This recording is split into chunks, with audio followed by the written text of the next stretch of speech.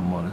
April 24, 2014, this one, one and a half years old male hamster had a swelling below the right eye, and uh, now you can see that the hamster has recovered from the surgery, anesthetic and surgery, so it's very hard to hold.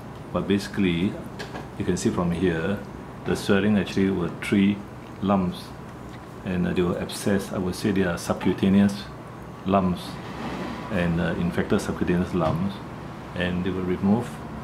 And also he had one lump on the on the toe. It's called the digit 2 this lump has been uh, removed by amputating the toe.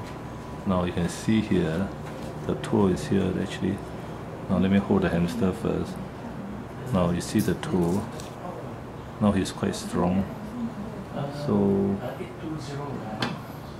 you will just leave him on his natural state. Now you can see the stitch has been, the lump has been removed, the three lumps and the, and the Dr. Daniel has stitched up with five zero absorbable stitches. You can see from there? Okay, so it's no more swollen as early on before surgery. Did you manage to get it? Mm. Oh, he beat me already. Okay, so so yeah, hamsters are very mobile, so it's very difficult to to actually uh, hold them. But uh, let me just put, put here to weigh him. Okay, let me see the weight, but just focus on. He's 63 grams, 62 grams yeah, after operation. Now, the best best way to, to, to, to video the hamster is alone by himself. Yeah and uh, you, you, can see the stitches 5 0 as absorbable stitches. Two stitches were put in after removal of that uh, lumps under the under the cheek skin and uh, overall he's recovered very fast. Anesthetic given was Zoletil two drops IM now hamsters always throw out the cysts when they are disturbed.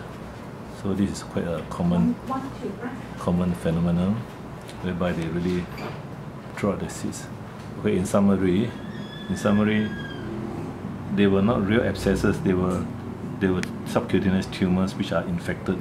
As you can see, that uh, those yellow stuff are like pimples, and they are they are really uh, abscess tumor. I call it abscess tumor. So that's why during the first time when we when we drained the lung abscess, it came back again because when the lung abscess, we didn't remove the tumor, and the owner came back second time. This is the second time, and this one the same thing. There was a, there was a pimple on the toe, so we lance off.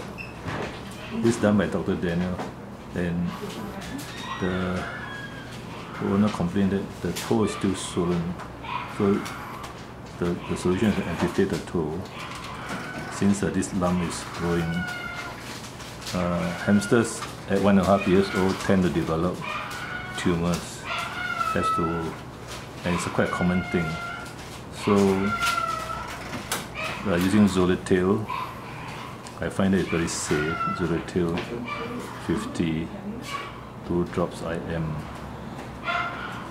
It, but it gives you a few seconds uh, for, for 61, 63 gram body weight. Yeah. It gives you about uh, less than 3 minutes so you have to really do a fast job, electro excision and amputation. And then you will get a hamster who's alive. Otherwise, you will get a hamster that is dead. There's, there's no point because no matter how, how good your surgery is, a dead hamster is not appreciated by the owners.